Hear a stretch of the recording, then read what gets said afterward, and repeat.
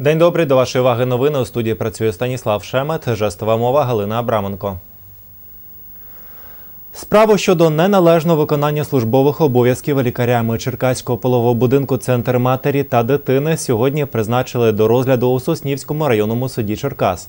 Адвокат потерпілої Світлани Портнової Вовкогон, яка народжувала у цьому закладі, клопотала про призначення пологового будинку цивільним позивачем у справі, оскільки вважає, що відповідальність має понести і пологовий будинок. Засідання відбудеться 24 січня о пів на 12 дня. Вони в них працюють, хай заклад теж відповідає за те, що в них працюють такі працівники. Ну, ми зараз лікуємося в неврологічному відділенні в обласній лікарні. Дитина сама не ковтає, е, дитина їсть через зонд, вагу не набирає, не реагує. Якщо будуть всі мовчати, то ці лікарі й далі будуть калічити дітей. Можливо, так як одного з тих лікарів відсторонили, то можливо я врятувала життя якоїсь дитини. Сторона обвинувачення та представник е, адвокат е, потерпіли заявляв цивільний позов, він буде допрацьований і на наступному суді заявлений знову. Обвинувальний акт складено відповідність до вимог Кримінального процесуального кодексу України. Порушення Кримінального процесуального кодексу України при проведенні досудового розслідування не збачається. На підставі такої керуючись положенням глави 27 Кримінального процесуального кодексу України суд ухвалив не призначити до судового розгляду відкритому судовому засіданні в залі Соснівського районного суду міста Черкаси на 24 січня 2019 року по 11 годині 30 хвилин. Судове засідання викликати сторони кримінального провадження. Скаже не підлягає участі для провадження. Адвокати обвинувачених відмовилися коментувати хід справи. Нагадаємо, 26 травня 2017 року жителька Черкаської області Світлана Портнова Вовкогон народжувала у закладі. Жінка наполягала на проведенні кесарового розтину. З її слів, провести операцію лікарі відмовилися. Через нестачу кисню дитина набула інвалідності. 9 січня розгляд справи перенесли через неявку адвоката одного із обвинувачуваних. Запланована на сьогодні сесія Черкаської міської ради не відбулася через відсутність кворуму. 25 хвилин на 11 у сесійній залі зареєструвалося 17 депутатів.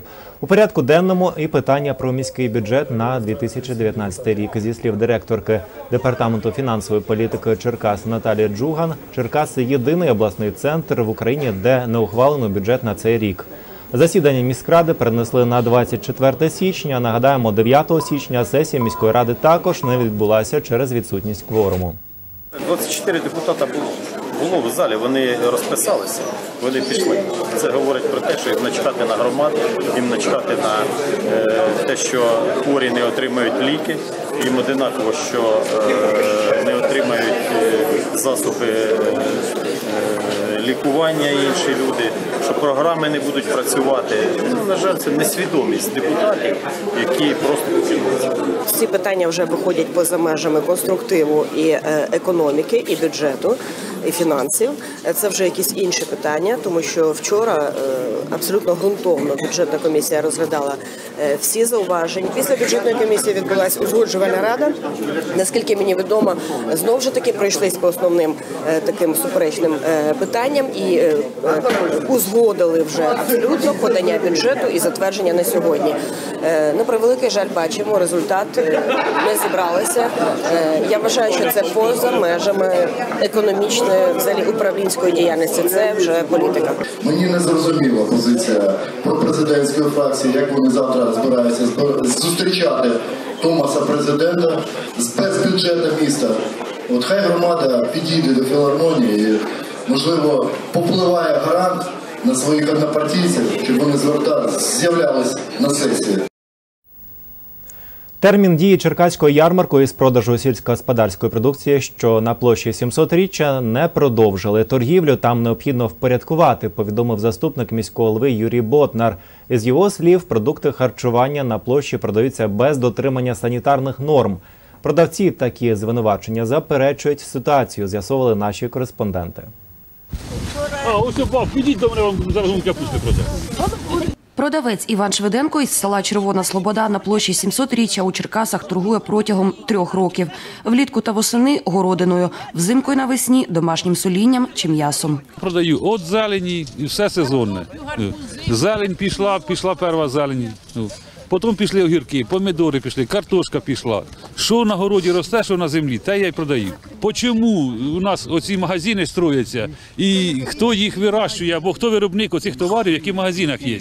Китай, Польща і все ближче наше зарубіжжя. Да? Ну, Чому наше сільське не можна продати у нас на ринку?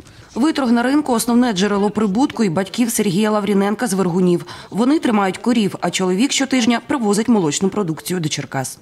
Вдома молоко беруть за безцінь. Взагалі за безцінь.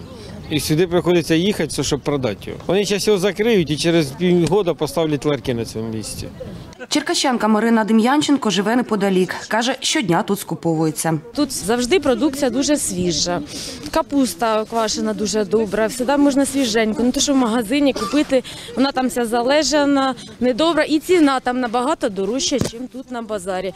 Зі слів Тараса Кібала, директора підприємства Черкаські ринки, ярмарок на площі 700-річчя діє три роки.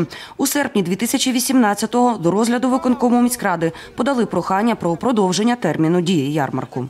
З серпня місяця до сьогоднішнього дня е, ярмарок не продовжили. 31 грудня 2018 року дія даного ярмарку закінчилась. На сьогоднішній день виконком відмовляється голосувати за дану земельну ділянку.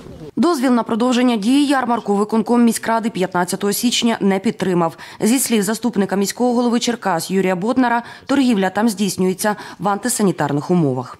Комунальне підприємство повідомило, що там не здійснюється або не має здійснюватися торгівля, але воно там здійснюється.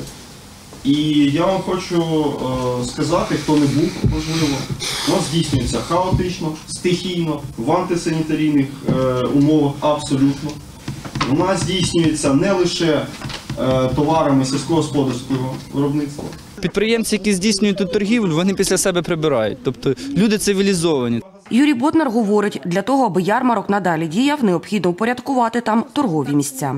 Комунальне підприємство Черкаські ринки має поставити там відповідні торгові місця і забезпечити е, відповідно там е, санітарну, е, санітарний контроль, інший контроль. І ну, відповідно збирати пайову участь. Таким чином буде поповнюватися бюджет як комунального підприємства, так і бюджет міста. Була розроблена обладнання ярмаркове для того, щоб підприємці могли здійснювати свою торгівлю. Ми подавали на те, що щоб тут положити плитку на території, де здійснюється діяльність. Також ми подавали, щоб на самій площі теж положити тротуарну плитку, починити е, ліхтарі, встановити, щоб ну щоб все було культурно окультурено. Але наскільки нам відомо, наша пропозиція, яку ми подавали до програми соціально-економічного розвитку, вона туди не потрапила. Продавчиня Любов Карпович каже, якщо їх виженуть із площі 700-річчя, вони мітингуватимуть. Будемо перекривати. Іншого виходу в нас просто немає. Перекривати дороги, йти на крайній мірі. Ми розуміємо, що це неправильно, що це можливо десь протизаконно, але ви змушуєте. Я раді куска хліба своїй дитині, я на це піду. Тетяна Недбайло, Сергій Єфімов. Новини. І більше інформації про події цього дня переглядайте у наших наступних випусках, зокрема вже о 17 До зустрічі.